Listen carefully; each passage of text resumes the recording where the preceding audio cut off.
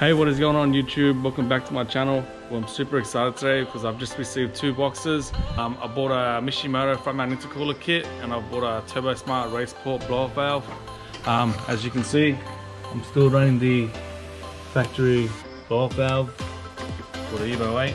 Um, I've got upgraded hot and cold side Plazmaman um, intercooler piping kits, but I'm still running the factory intercooler.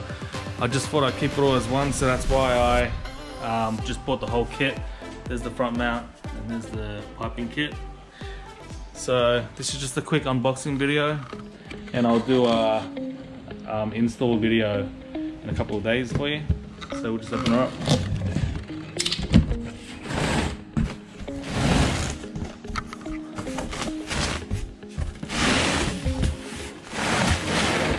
there it is what have we got here? Got some uh, some hoses. There's the piping, nicely packaged, bubble wrap.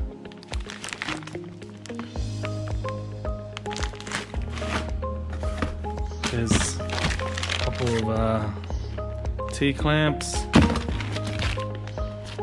some more T-clamps, some more couplers and there's the race port valve so we'll just open that. What do we got?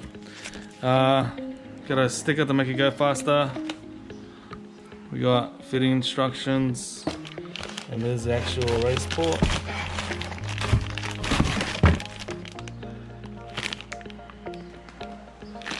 yeah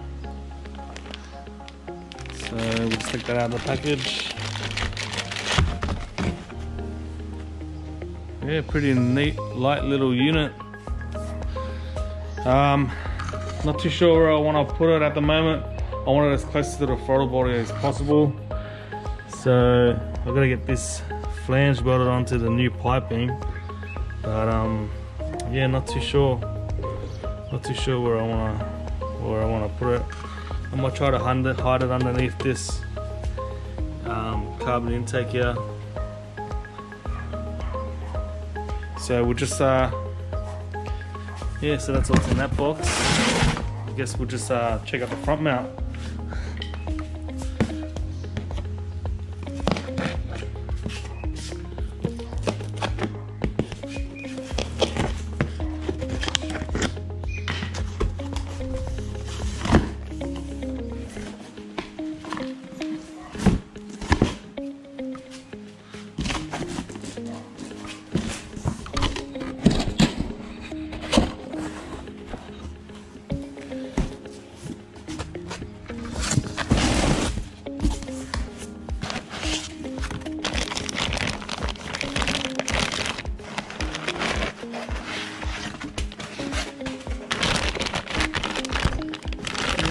Good.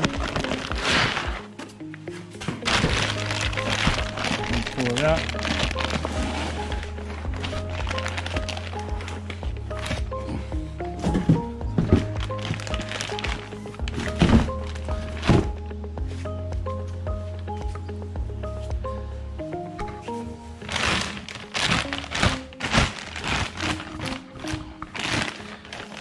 Nice, no damage.